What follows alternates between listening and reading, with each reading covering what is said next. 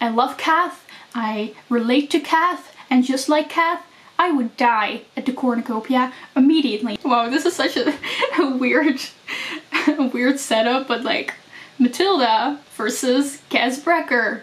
Who would win? Hi guys, welcome to another video. Today we're gonna find out which one of these book characters would win in a Hunger Games. I've seen a lot of these tier ranking videos going around. A lot of people have been tier ranking all of their favorite series and at first I was planning on doing a video like that and I still want to do a video like that in the future but I thought wouldn't it be fun if we made it Hunger Games themed because honestly all I can think about is that new Hunger Games book that's going to be coming out in a few weeks. So what we're going to do is we're going to emulate a Hunger Games with bookish characters. So I asked you guys on Twitter to send me some book characters and I picked the characters of books that I have actually read and also characters from first books in series as to avoid spoilers. And then on top of that I also added some of my own character picks until I had 24 book characters just like the 24 tributes in the Hunger Games. So now we're just gonna see what would happen if we would just throw all these 24 book characters in a Hunger Games arena in the style of the first Hunger Games book. So with a lot of like forests and meadows.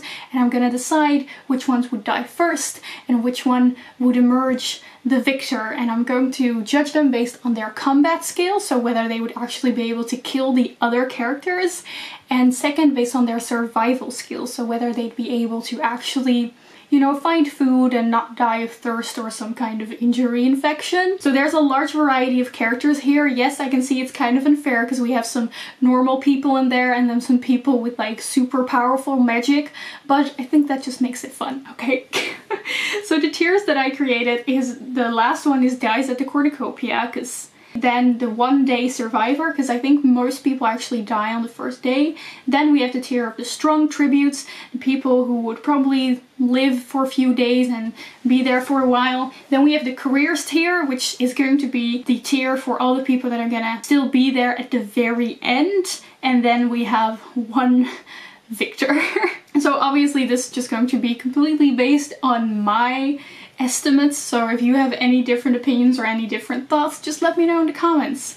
And now let's begin with ranking these characters. so the first one that I have here, I couldn't find a picture for her, is Stevie Bell from the Truly Devious series. Well, I guess her power is that she's really good at detective skills, but other than that, I think we all know that she has absolutely no combat skills. Maybe she'd be able to survive, but I'm gonna be honest, I think this one's just going straight to dies at the cornucopia, because I could see her being so impulsive that she tries to run to the cornucopia to get like weapons and then she'd just be killed. Then we have Reed from the Paper Princess series, which is that romance series that I really don't like. And I couldn't find a better picture for him than this one, which I guess says enough.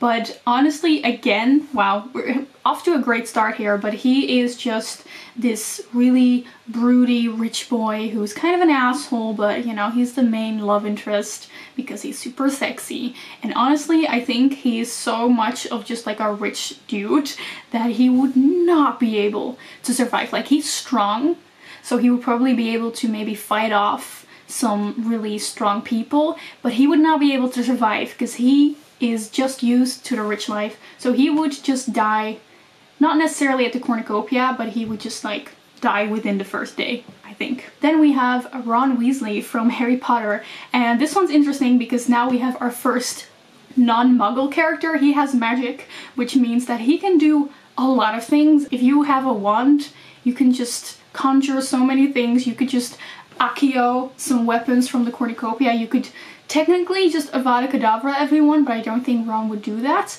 But he is going to be very strong tribute. I'm very sure of that. Then the next one is Inan from the Children of Blood and Bone trilogy. I've only read the first book, but he is our villain character, but he does have magic. Uh, his magic is that he can see people's dreams. He can enter people's dreams, which is honestly quite unuseful in the Hunger Games, I'd say. He is a very strong fighter, but I don't think he's stronger necessarily than all these other characters to the point that he would be a career. And the fact that his magic is kind of unuseful, I think he would just be a strong, a strong tribute. Would he be stronger than Ron? I don't think so because again, he cannot compete with Ron's magic. So I'm gonna put him here. Then we have Cinder from the Lunar Chronicles our feisty little girl. She has a cyborg hand and foot, which I think makes her slightly stronger than the average human. But other than that, it's been a while since I read the Lunar Chronicles, but I don't think she has any remarkable fighting skills. I have to admit there's a part of me that could see her being impulsive, running at the cornucopia and then just dying. I love Cinder, just to be clear. I really like her, but um, I think she'd maybe survive one day and then just very quickly be defeated by everyone else. Then we have Daisy Jones from Daisy Jones and the Six. Although I loved her as a character, let's be honest, I mean maybe she could sing and gain some gain some money from the sponsors, but other than that, I, I think she would instantly die. I'm sorry, Daisy. Same thing goes for Kath from Fangirl. I love Kath, I relate to Kath, and just like Kath, I would die at the cornucopia immediately and I think she would be worse than all these others. Oh, I forgot to say who's better. I think Daisy Jones would be a little more feisty than Stevie Bell, maybe just because she's more of an adult. So I'm just gonna put her here. But Kath would be, she'd be the weakest. Then we have a very, very strong character. Celaena Sardothien from the Throne of Glass series. She is extremely strong. We all know Adarlan's most most notorious assassin and she only gets stronger throughout her entire uh, Throne of Glass series. In my opinion, I would even say she's kind of overpowered because I remember when I was reading Throne of Glass, I almost didn't really enjoy the action scenes because Celaena was so powerful that she could just beat everyone that it was kind of boring to me. Um, but she's definitely gonna be in the careers tier. The victor is gonna be chosen at the very end because of course I don't know yet who's gonna be the victor and there can only be one. But she is extremely strong. She would kill everyone. Definitely just immediately at the careers. Then we have an old school one. I'm really glad someone suggested her on Twitter and that is Penryn from the Penryn and the End of Days trilogy which starts with Angelfall, one of my favorite, favorite trilogies for the longest time. Angel Fall was one of my favorite books for the longest time, so I have a lot of nostalgia. She is kind of your typical, typical YA dystopian main character where she's really good at fighting. She gets a sword at one point so she could really handle her weapons. She has wits, she's smart, she knows how to fight. She's doing pretty well, definitely better than these two, I think. But Hmm, I don't know if she would survive longer than one day. She doesn't have any magic, which really makes it difficult for her, so I'm gonna put her at a one day survivor, but definitely at the top for now. Then someone suggested Matilda, which is honestly, I love that. So Matilda from the book by Roald Dahl is of course just a little girl and that's actually really sad. But the thing is, she has telekinesis, and I think that's extremely useful in the Hunger Games because she could just she doesn't have to run towards the cornucopia. She can just use her telekinesis to steal from people while they're sleeping. She's small, so probably maybe quite stealthy, and she could just get anything she wants by just having it fly over to her. She can make things combust from a distance. By the way, I'm going off the movie. I haven't actually read the book, so it might be different in the book. But I think she would actually be a surprisingly strong tribute, and I think she would win from Inan just because I think Inan is just really dumb and he would be led astray by his emotions. He would probably fall in love with some of the other tributes and then just forget everything. would she win from Ron? I think she would outsmart him. So I'm gonna I'm gonna put Matilda in like a very strong tribute. But she would not hold up against someone like Celaena Sardothien. Okay, then we have Darlington, the uh, male character, male main character in Ninth House. The thing about Darlington is that we don't really know what his skills are and what his powers are yet. We know he's just a normal human, but he dabbles a little bit in magic. And honestly, from what we know, his strongest points is definitely just his intellect and his wits and that he's just like a really good student. But I don't think it's gonna help him in the Hunger Games. And I actually think he would die quite fast. He is also like a rich boy. He would not be able to survive in the woods. So I think he would just, he would, yeah, he would definitely be one of those people who would maybe be smart enough to not run towards the cornucopia and just get away, but he would definitely die after the first day. He would not be able to beat Penryn because Penryn is like an actual good fighter. So there he goes. Then we have one of my favorite characters, Elias from An Ember in the Ashes, a killing machine, that's for sure. Honestly, An Ember in the Ashes, I gave that book three stars, but I'm the more that I think about it, I might actually want to continue the series just because I love Elias so much. Just his personality arc is so beautiful in that book, but let's just go back to his skills. He is trained since he was like a little kid to be one of the masks, so one of the most powerful warriors in the land. He can kill anyone if he wants to. So just power wise and probably also survival skills wise, he would definitely be up there with the careers.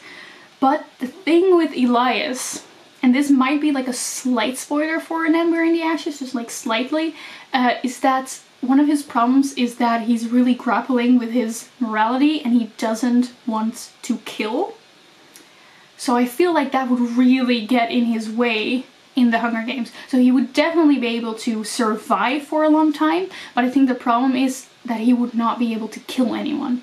So because of that, I think he would never really go into the career tier. That's my take on him. So then we have a very special character, and that is Ebony Darkness Dementia Raven Way, which, if you don't know, is the main character from the famous Harry Potter fanfiction My Immortal. It's kind of seen as the worst fanfiction of all time. It has like a, it's terribly written and Ebony Darkness Dementia Raven Way is like the most Mary Sue character you will ever find.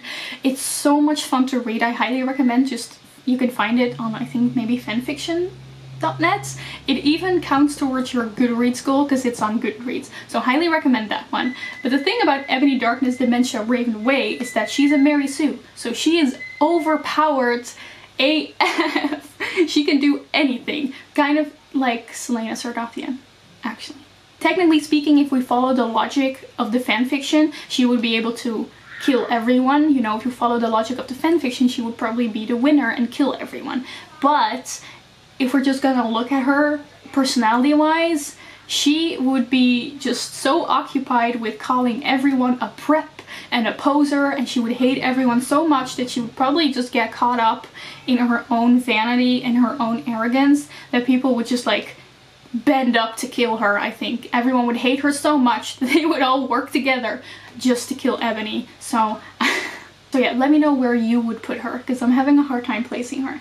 But then someone uh, suggested Gale from the Hunger Games, which is very interesting. I think Gale is very similar to Katniss just in terms of strength and survival skills. He would definitely be able to survive for a very long time. He knows how to fight. He, I think he also knows how to use a bow, just not as well as Katniss Everdeen. And Katniss had definitely had the um, the advantage of having a bow that she could use to actually kill people, whereas Gale was mostly good at setting snares, which is, you know, nice if you want to survive in the Hunger Games, but you can't really kill anyone with it unless you, unless you set snares for humans. Maybe that's what he'd do. I don't know, but at the same time, setting snares would let other people know that you're close by, so that could also be a disadvantage. So I think he'd survive for quite a long time, but he's he's definitely a little more kind of impulsive and arrogant than Katniss, so I don't think he would lay low as long as she did. So he would be strong tributes. Maybe he'd win from Inan, um, but that's it. Also, he doesn't have any magic, so that immediately just drops him down a bit. Actually, no, he would not win from like all these magical people. I'm gonna put him in, like a one day survivor. He would do well in the Hunger Games, like in the Hunger Games universe itself, but just with all these magical, strong characters, he wouldn't do very well. So I think he'd win from Penryn just because he would have better survival skills than her. Um, but he's still going to be in the one day survivor tier. Alright, then we have interesting, interesting Kaz Brekker. So this one's kind of hard because again with this character all his power mostly comes from his sleight of hand and his like lockpicking and stuff, which is all stuff that you have no use for in the Hunger Games. Absolutely no use. Like he needs to be able to find the right food and survive and I don't know, if he'd necessarily be capable of that. He is good at hand-to-hand -hand combat, which comes in handy in the Hunger Games, especially with his like fabricator fortified cane. He would do some really good fighting. And we also know that Kaz Brekker is just a genius, so he would probably come up with some fantastic plans to outsmart all the people even though he doesn't have magic himself. I mean we see him in Six of Crows doing really well in this world where a lot of people actually have magic. So I think he'd do very well but he's not a career because again he's good at hand-to-hand -hand combat but you know he's not gonna fight win from Elias. He's not well hmm would he be able to stand up against Ron? Again, it's just magic is such a difficult one because if you're just a normal human, you can't really do a lot against magic. But then again, he's so smart. I also said that Matilda would outsmart these people. So if Matilda can do it, I think Kaz can do it as well. And then, wow, this is such a, a weird, a weird setup, but like Matilda versus Kaz Brekker. Who would win? I mean, they're both really smart, but Matilda's too good. She's too good, but she does have telekinesis, but I think I think Kaz Brekker would not hesitate to kill a child, let's be honest, okay? But he would not win from Elias. Okay, let's put him there. We have Luna Lovegood, another magic wielder. Just because of her magic, I think she would be able to outlive all of these people. She would be a very strong tribute. Mm, would she be better than Ron? That's the question. I have to admit I am not too knowledgeable on just how strong their magic is. I don't know if Luna Lovegood is like stronger than Ron, but I think Luna Lovegood has the disadvantage of just being a little naive and just way too good. So I'm gonna put her in the one day survivor as well, but at the top because of her magic. Uh, because I do have to think about the fact that most people in the Hunger Games die within the first day. So most of the people should be like in the bottom two tiers. we have Nina Zenik, which honestly, she is just like Celaena, very overpowered because Nina is a heartrender. Her power is that she can control the human body. She could literally just go snap and you would drop dead. She could make your heart explode just like that. And even the thing is, you can't sneak up on her, you can't hide from her because she can sense your heartbeats. So honestly, I don't think anyone could go up against Nina. I mean, maybe she would have trouble surviving in the woods and like finding food and things like that, but let's all be honest, like Nina could just kill everyone in one day. And Celaena, although she's a super strong assassin, she doesn't have the advantage of stealth against Nina because Nina can just sense her heartbeat. So Nina, for now, is like definitely just the strongest one here. There's no way anyone can go up against her, I think. Then we have our sweet, sweet Dorian Gray. So I was very tempted to say, oh, he's just a naive little boy, he would die to cornucopia, but hear me out, okay? Dorian Gray is extremely charismatic and he would win over all those sponsors. He would get all the money from the sponsors. So that would definitely give him a strong advantage and if he's pushed, if you've read the picture of Dorian Gray, you know what he's capable of. Um, yeah, if you don't know how to fight, you can have all the help from all the sponsors, but it's not really gonna help you. Yeah, I think he's just gonna be a one day survivor anyway. I'm, I'm just gonna put him here okay? We have a lot of strong people coming up here now. So we have Tris Prior, which is the main character of Divergent, and in my opinion, she's very similar to Katniss, just because they come from such similar books, but she knows how to fight.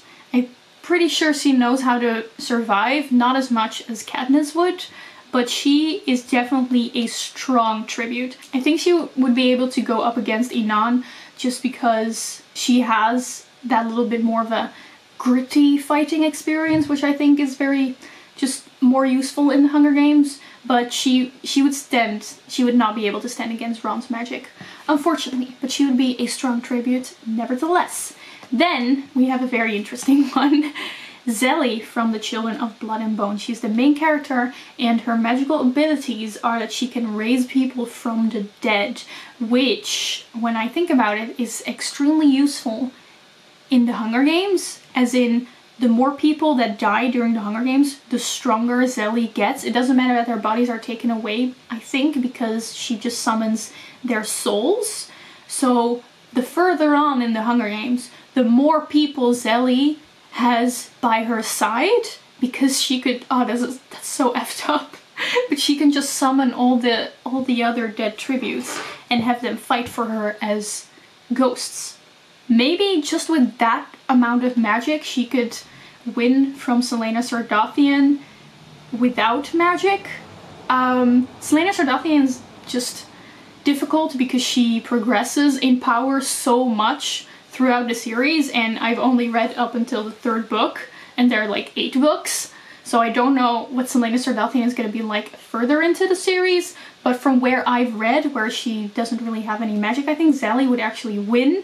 But again, she's gonna run against a wall with Nina, who would just snap and she's dead. So now up next we have Victor Vale, the main character from Vicious, and his superpower is that he can uh, change pain. So he can inflict pain and he can dampen pain. He can dampen his own pain, which I think is very useful in the Hunger Games. Uh, he doesn't necessarily have great combat skills, but just like the power of inflicting pain on someone can render someone just stunned and it could even kill someone if they're already weakened. So I think we should not underestimate the power that Victor Vale has and just the fact that he can, you know, really dampen his own pain, which is also very useful in the Hunger Games where you're probably going to be in pain a lot. Would he be able to win from Celaena? That's the question because Celaena's obviously the better the better fighter. But even Celaena, she's just in a lot of pain. It doesn't really matter. The same goes for Zélie. Would he be able to win from Nina? Again, um, although he would be able to inflict pain real quickly, Nina would be able to have him drop that real quickly. And the thing about Nina is that she can actually sense him from afar. So, oh, wait, no, I just realized Victor Vale can also sense people from afar. He can sense people's bodies. So that immediately just gives him the same advantage as Nina does. I think those two have the advantage just because they're able to sense other people so no one can hide from them, which is honestly amazing in the Hunger Games because you need to be able to hide from people. That's like the only chance you have to sometimes kill someone is to hide, but you can't hide from Victor or Nina. So that's why they're up here. But I think I still think Nina would win. Then we have an interesting one and that is Alina Starkov from the Grisha trilogy, who is supposedly the, one of the strongest Grisha, so magicians in the world because she is the sun summoner and she's the only sun summoner that has ever known to be. She's the only person that has light magic. But as far as I remember from the series, she doesn't really know how to fight. And light magic, sun summoner magic, is only useful against the dark, against dark magic. And no one here is really using dark magic. So I'm genuinely worried for her. I don't think her and her light power is really gonna save her in the Hunger Games. It's definitely not the same as the magic that these other people have. So I actually think she's gonna die rather quickly because she just, there's no use to her power. Like maybe she could like blind people, so she would definitely maybe be able to go against these other people that don't know how to fight. But as soon as she just meets Penryn, the first person who does know how to fight, yeah, I think Penryn's gonna win. So I'm gonna put here, down here. Okay, we have two left, guys.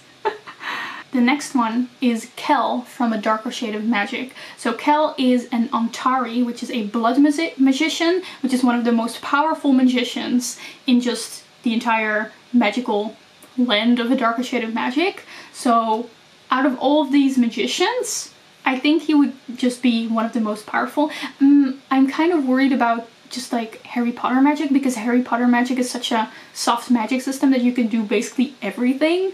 But then again, Kell is just extremely powerful. So I think he'd definitely be in the careers.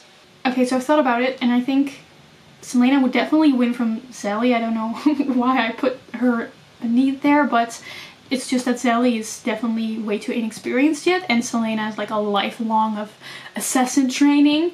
And I think Kell would also win from Zélie just because of that, just because he's so much more experienced in combat than she is. But I don't think he would win from Celaena just because although he's like the most powerful magician in his universe, the magic system is rather limited. So if you like expand that to all the other universes, he's not that powerful. Like he's not as powerful as an assassin that can also use magic. So I'm gonna put him here. But I do think that these are definitely the most powerful. And then the last one we have Bella Swan. So I'm using Bella Swan from like the end of the Twilight uh, saga, so when she's already a vampire. And the thing is, I know Bella Swan is supposed to be like really weak, but she's a vampire and that means that she's the only one out of all of these people that has super strength and super speed, which is extremely useful here in combats and just in the arena in the Hunger Games. And another advantage that she has, so I'm definitely going to put her here in the careers, but the other advantage, advantage that she has is that she doesn't need to eat or drink. So while the other people are all slowly going to be weakened because they're not eating well, they're not drinking well, it doesn't matter for her because she's a vampire, so every time she kills someone and she drinks their blood, she regains her strength. So I think already that's gonna put her like way up here. And here's the thing. You know how like Nina and Victor had the advantage because they could sense other people's presence? They can't sense Bella Swan's presence because she's a vampire. She doesn't have a heart. She doesn't have a working body. So honestly, by the way, now that I think of it, Nina's powers would not work on Bella Swan Okay, they just wouldn't work. I genuinely wonder if any of these people's powers would work on her just because she's not a human. The only thing, also she's immortal. Celaena could chop her up into bits, but it doesn't matter. The only thing that could kill her is being chopped up into bits and then fire. So maybe Kell would have a chance because he, there are Antari spells that can like create fire. But then again, Bella is so fast and strong and a vampire. I actually think that she's stronger than all of these and she's the only one out of all of these people that could realistically beat Nina because Nina's powers that could kill anyone else are rendered useless against Bella. So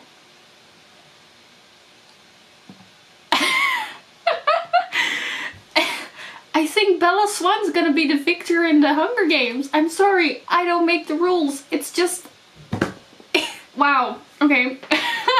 I think this is just this is just what's meant to happen. You know, we now have Midnight Sun coming out in August. The Twilight craze is coming back again. And just to celebrate that, I think we all need to acknowledge how powerful Bella Swan is and how she would definitely kill everyone and win the Hunger Games.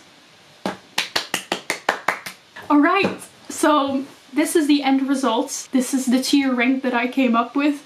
Definitely let me know what you think of this, if you would change anything else. Who do you think should win? Do you agree that Bella Swan would win or do you think I'm completely crazy for coming to that conclusion?